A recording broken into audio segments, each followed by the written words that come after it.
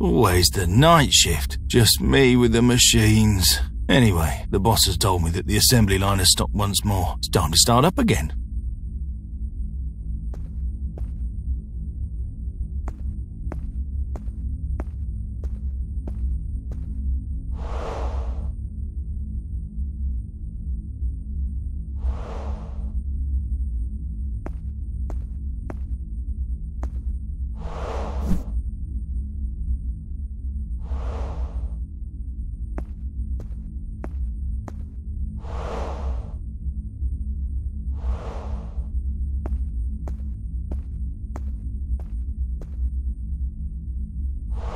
Thanks for the confidence, boss.